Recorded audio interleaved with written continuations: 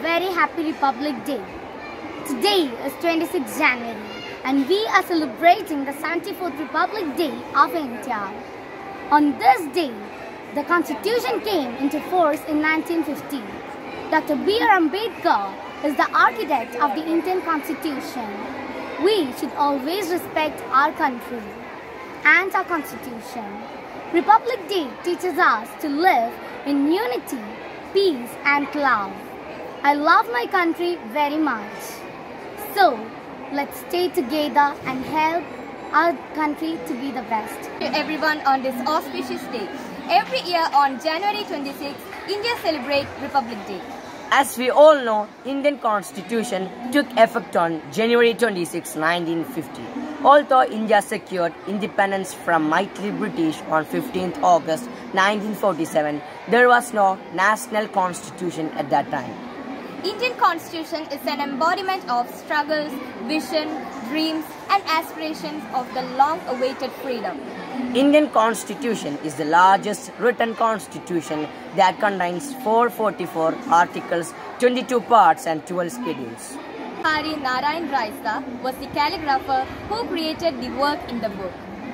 Proud to be an Indian, let's cherish our freedom and enjoy our democracy with ah,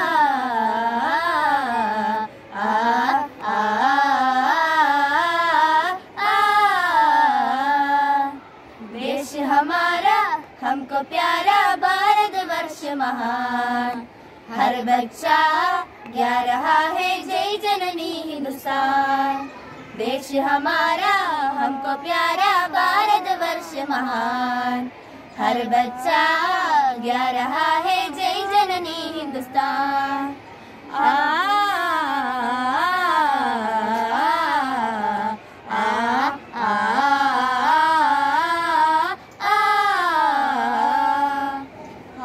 विपदम को हँसते सहज जाएँगे जाएँगे। धरती के आँगन में दीप जलाएँगे। हर विपदम को हँसते सहज जाएँगे जाएँगे। धरती के आँगन में दीप जलाएँगे। भारत का हो बच्चा बच्चा युवदारा है युवदारा